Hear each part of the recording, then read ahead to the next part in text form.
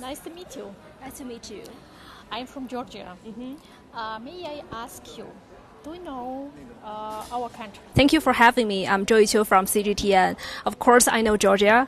Uh, first of all, I know that your country is very famous for your red wine. And the second factor I know is that Georgia is one of the BRI partnership countries that we have can boost uh, global international international cooperations, the mutual uh, to gain some mutual interest. Have you ever been to Georgia? Uh, never, but I'm really looking forward to pay a visit to Georgia. Uh, do you know about our national foods? Do you know anything about national our national food? Uh, I remember it's called Hajali. Khachapuri, yes. Hajabuli. Yes, and and also we have. Khinkali. You know?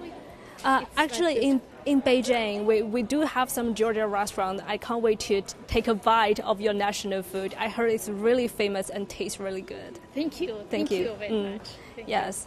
Uh, and uh, speaking of the CIE for this year, uh, I'm really looking forward to the results. Also, that the BRI partnership can uh, all share the benefits of Belt and Road Initiative, and that is a benefits for all.